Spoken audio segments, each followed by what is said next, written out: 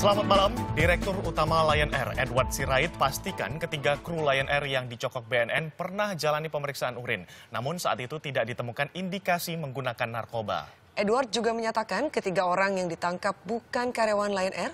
Pramugari dan pramugara sudah dipecat dari Lion Air karena kerap bolos saat jadwal terbang. Dari hasil pemeriksaan polisi, kru Lion Air yang dicokok BNN Sabtu lalu telah mengkonsumsi narkoba dalam waktu lama. Kopilot SH telah menggunakan narkoba selama satu tahun, sedangkan pramugara MT dan pramugari SR menggunakan sabu selama dua tahun. Namun Direktur Lion Air, Edward Sirait, menolak mereka disebut karyawan Lion Air. Kopilot SH disebut masih berstatus calon penerbang yang tengah menjalani pelatihan, belum berstatus karyawan Lion Air. Saya katakan pernah. Jadi sekarang sudah tidak ada Lion Air, Pak? Sudah tidak.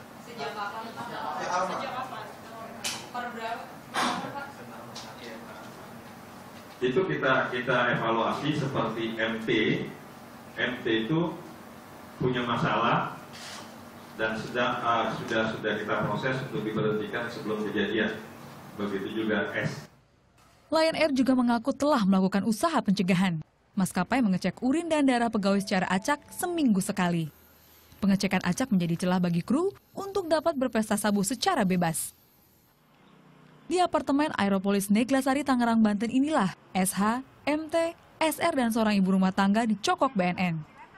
Apartemen berada tak jauh dari Bandara Soekarno-Hatta. Mayoritas penghuni kru maskapai penerbangan. Eh, lagi menggunakan? Bagaimana? Pas pakai positif.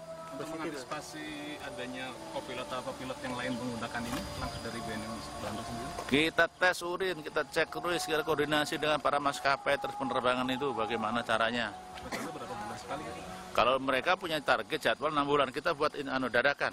Nggak mau kita, kalau perlu dia mau terbang, stop, tes urin. Ketiga orang yang terkait Lion Air terjaring saat petugas BNN dan Polres Metro Tangerang menggelar razia. Saat itu petugas juga melakukan tes urin terhadap seluruh penghuni apartemen. Tim Liputan melaporkan untuk NET.